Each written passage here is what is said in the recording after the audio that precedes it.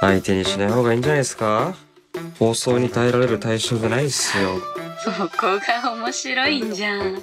下町で暮らす優しくてまっすぐすぎるこの男三上。